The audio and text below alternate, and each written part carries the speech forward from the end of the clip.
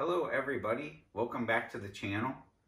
What an exciting week last week was as uh, Christian and I and uh, my friend John and Tom made our journey to York and we arrived on uh, Monday night so we were able to attend the Wyndham parking lot show, the firehouse show, the Four Points show, um, two days. And then we also did some sightseeing so I got, we visited the Rockville Bridge, the Pennsylvania Station, Steamtown, uh, Horseshoe Curve. Um, missing anything? Mm, I don't think so. So we got to see a lot of sights while we were there.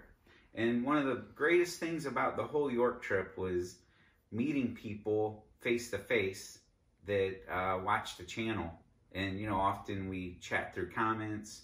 Some we've become friends through Facebook and chat back and forth through Messenger or call or exchange phone numbers and call and text.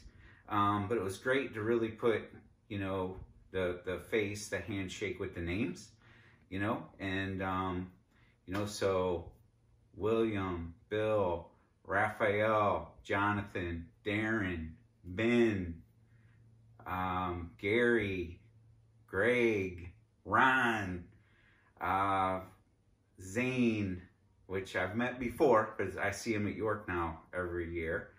Then um, a couple Chris's, Chris, and then also PGH trainings. And um, man, am I leaving anyone out? William, Jim, Bill, Alan, Alex. Um, man, just so many people and it was great to chat with everybody. Uh, Jaybird, you know, was awesome. Thank you for sharing information about the Frenchies. Uh, Christy's actually got the camera right now. She's a Frenchie fan of the house. I am too. So we'll, we'll be looking up your breeder. So thank you for sharing that information and, uh, you know, taking the time to chat. Um, so I hope I didn't miss anyone. I, I, I don't think that I did. Uh, Bill, Dave, just thank you everyone. I'm trying to remember everybody. It was so many people. It was amazing. So, um, you know, let's talk about what we were able to find at York this year. So thank you, Christy, for being our camera person for a second. So we're just going to start left to right. So, uh, this MTH Premier Work Train Pennsylvania uh, freight set. This has been a, a, set I've wanted for a while. We have the other version of it. Um, I love getting the MTH 6-car Premier passenger sets because they're a great value. And, you know, I'm going to give a shout out to Keith at Chuck's Train Room because um, he was the first table, the first show we went to on Tuesday. Um, we're not there 20 minutes and we already have a car full of stuff between Tom and I. So, and Christian. Christian picked out some stuff. So we picked up this uh, six car Pennsylvania freight set from him. Then we got the Electromotive five car passenger set with the add-on two pack and the uh, Vista Dome brand new in box. Then we also got the Texas Special with the two car add-on and the Vista Dome brand new in box from him. Then several uh, Atlas cars. So some Santa Fe hoppers. You know I'm a big fan of Atlas. Then um, a Northwestern Woodside Reefer, um, Great Northern PS1 box car. This is a pretty big box car too. We don't usually buy ones this big. There goes Mr. Duck, who I bought for Christy to put in her Jeep. And we got that at Steamtown. Let me grab them. Whoops. So there's, you know, the duck thing that Jeeps, you know, Jeeps give, Jeep people give to other Jeep people on their windshield wiper or door handle. And I thought this would be an awesome one. We got that at Steamtown to give to Christy for her Jeep. So Um, then I got a Chesapeake and Ohio, uh, double door box car. That's a beauty too. See if I can do it without knocking something down this time.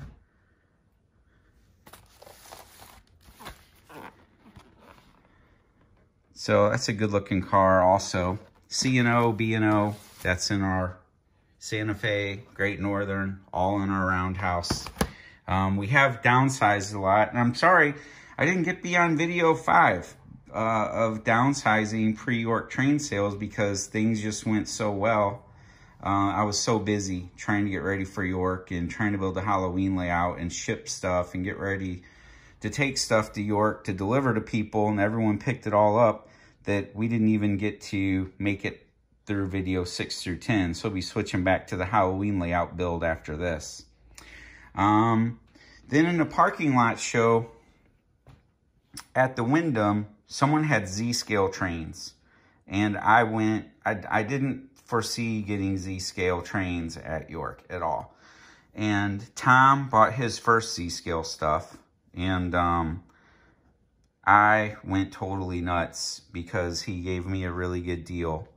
Um, you know, we have these electric, we have a little diesel, um, a 464, a 2102, another electric, a crocodile, another electric. That one, that one and that one are actually Christians that he picked.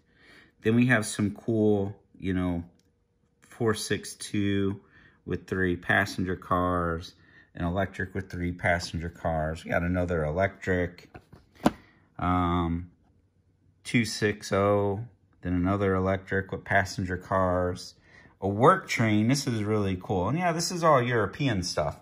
But as I've said before, I'm not limited. I love all kinds of trains. So, um, you know, I, my mom bought me a puzzle and it has like a hundred of the uh, best, I guess, uh, steam locomotives throughout history, and a lot of them are from Europe, um, not just America.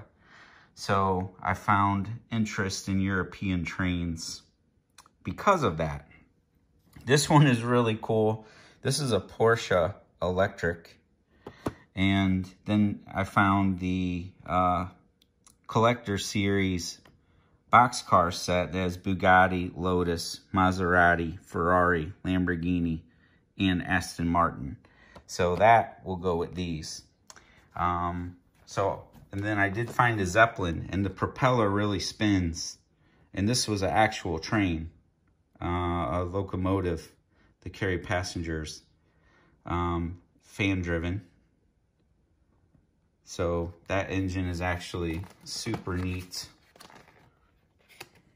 I'll have to do a run of that sometime.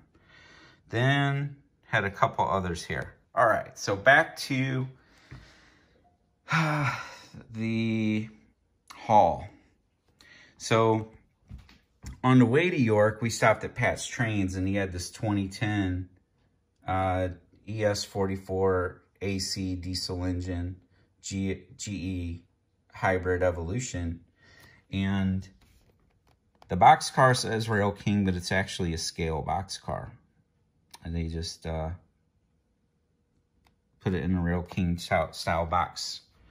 Um, then at York, I was able to find the streamlined RPO car for it. It's the laboratory car that, you know, this is actually out of the set, out of an earlier run. And this was a more recent run of the locomotive. And there's another cab number two. Um, I think it's 2012 or 2015. Um, so that is a beautiful locomotive. Then we found um, a couple Virginian cars and we got a really good deal because the guy said he's been carrying around for some time. Those are like 20 bucks a piece. Those were in the white Whitehall. Then Christian got a Chase Elliott NASCAR. Then this was one of my favorite finds. So I sold my Lionel Legacy yellow bonnets because I just really didn't like the color. I was expecting them to be more like the MTH that are more elusive to find, the dealer appreciations.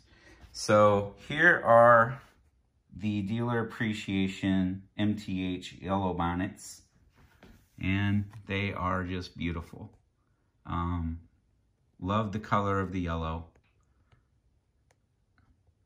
It's not too pale. It has a little bit of orange to it.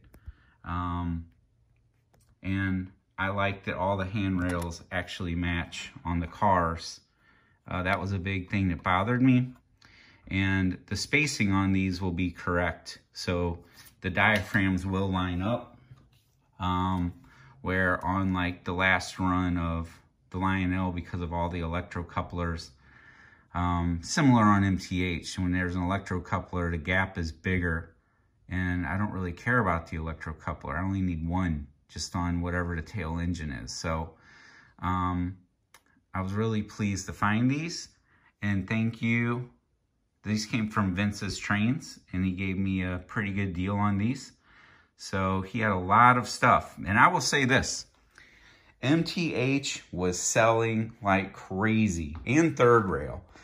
Because um, everything that I looked at my first day on Thursday in MTH, and then Tom looked at, when we went back on Saturday, a lot of it was already gone. And um, it was selling like crazy, like some KCS engines at Vince's Trains, um, a plated BL1 set, uh, some Milwaukee Electrics, um, you know, that was the story throughout, like a Santa Fe third rail, a third rail um, E5, Chicago Northwestern. Uh, there was a Santa Fe E5 that sold in third rail. Just everything third rail and MTH was just like going fast. It was crazy. Um, so anyway, there's a box for these dealer appreciations. Then thank you. So Eric from Eric's Trains was uh, buying a couple of DM and IR MTH Proto 3 diesels when my friend Tom and I were in the booth at the same time. And, you know, we talked to Steve at Mr. Muffin's Trains. And I was able to get the other, uh, you, you saw my War Bonds version of this one. This is the latest release. Um, of the T1 steam engine. And then Tom bought the Pennsylvania with the steaming whistle. And thank you. I mean, he gave us a sweet deal for getting both engines. And um, I greatly appreciate it. Um, you know, and, uh, you know, it's not expected, but it is nice when people do give you a little bit of price break on stuff. Because um, the stuff is really expensive and you know I buy a lot. So Steve, I will buying be buying more MTH trains from you. And I do like the DM and IR Atlases you had there, um, as well as a couple of the Genset MTHs. So I will be calling you, sir. All right. So then from William, Christian got, we saw him last year. Christian got this uh, SD70 UP cabinet 4526. This is a Proto 2 at a 3 volt board in it. The flag is exceptional on this one. Um, the detail on it is really good. And it's a beautiful engine. I can't wait to get it on the track and run it. And I'm sure Christian can't wait either. Um, so thank you. Then, you know, the York Train Show, you have the largest selection, unless you walk in a store, of like hobbying stuff. So at B&B Hobby Supplies, I was able to pick up um, the magnifying lamp, a new cutting uh, mat for, you know, I'm working on things and cutting. You're not cutting into your top of your toolbox or table. Um, we picked up some VCRs, uh, some oil, just tipping some precision screwdrivers because we were actually running our train sets. I bought this train set at the same guy in the parking lot sale, Marklin. So Tom had a train set set up around his TV in his room, and I had this one set up in my room. And uh, we were getting all the engines going. So all the engines were brand new in box, and some of them, like O-Scale, they get binded up because they've just sat forever and were never run. So that's why we bought the oil and the precision screwdrivers uh, to work on them and get them all running. All right, so let's move back here. This is Christian stack. He got a Burlington caboose. Then he found a Southern Pacific Railroad caboose. Sometimes he picks out some of the stuff that I'm just like, man, um, cool. Like I wouldn't have thought of getting those. Uh, we haven't been buying a lot of just Burlington. We do Santa Fe, obviously, and BNSF, but not a lot of just Burlington. And I do know where a set of these F3s are that would go with that caboose. I just need to go talk the guy out of selling them to me. Because uh, I know he's getting rid of his collection. Then he picked out a Denver Rio Grande modern, well, not exactly modern style boxcar, but it's not steam era. Um, we don't have anything to really run that with. We'll just have to stick it in a, a train with like some Santa Fe's or something. Then Christian, this came from Chuck's Trains also. Um, so he saw that North Northwestern tanker and he had to have the whole set. And Rock Island goes with us too. So um, thank you for giving Christian a deal on this. He got it for like 60 bucks. Um, it's brand new in box. And then he found this other Northwestern line um, tanker so he's a happy camper. Then, you know, we picked up some random rolling stock. So the B&O Chessie. Um, B&O hopper car. Another smaller hopper. Then we found a Norfolk and Western caboose to go with our Class A. Um, I'll say this, there were a lot of Lionel stuff sitting there. Um, a lot of the, uh, what are they, camelbacks, a lot of Class A's. I saw several of the new Vision Line Challengers. Um, I saw a lot of the new, like, E8s. Um, so there was Lionel stuff there. And, you know, it's just super pricey these days. Um, there's uh, some dealers that are really gouging people. Um, on some pricing on Lionel engines. It's probably why they were still there when I left. They didn't sell. So, um, you know, things like uh, Legacy, um,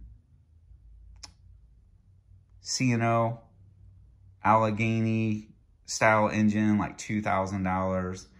Um, there was a red um, Mohawk for like 2000 um, several engines two to three thousand dollars. Like even the old 9006 big boy someone was trying to get 1500 out of i can find those in st louis all day long for like 800 bucks um, for brand new in box and cheaper if they're run so it's just right now prices on some trains are still super outrageous um, just buyer beware because if it's ever something you decide you don't want, you want to get rid of and get your money back out of, you probably won't. Um, so, found a couple Hot Wheels cars.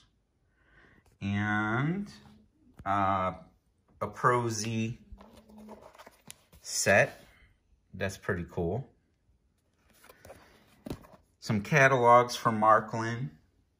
And then when we were at the Steamtown, um, I found a black diamond to go with my black diamond locomotive, so I'll put that somewhere next to it and display it.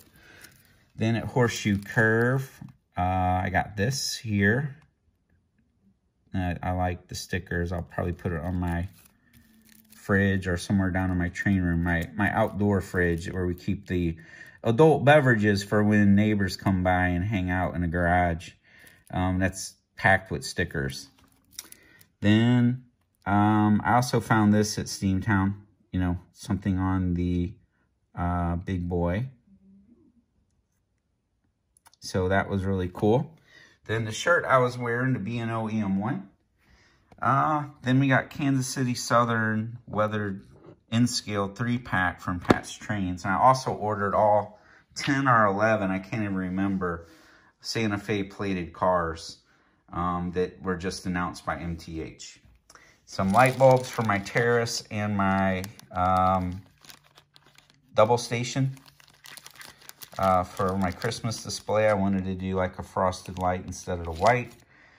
Got Wes some batteries. I didn't get to stop by Wes's because we were stuck in four and a half hours sitting on the highway at a dead stop uh, on the way back because of a tractor trailer that jackknifed and spilled diesel fuel all over the highway.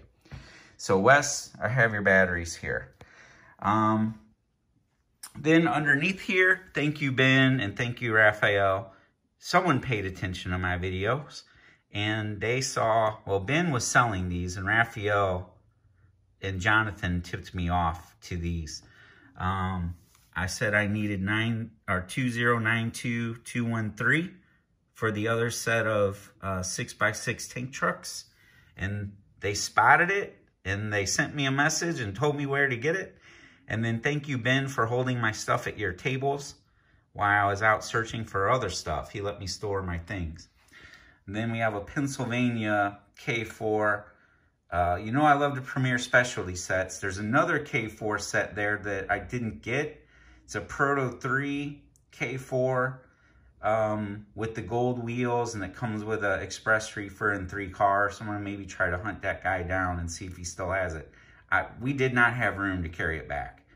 And I should have just bought trash bags and wrapped some stuff up and threw it in the bed of my truck.